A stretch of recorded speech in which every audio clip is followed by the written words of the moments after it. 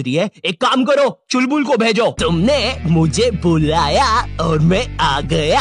हुड़ हुड़ दबंग दबंग हुड़ हुड़ दबंग दबंग।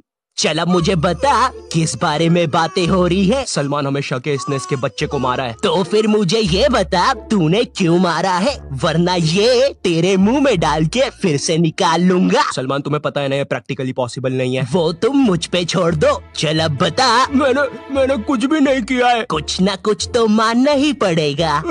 चलो मैंने वो आदमी को मारा है। मैंने सपने में देखा मुझे एक बुढ़े आदमी ने मार दिया।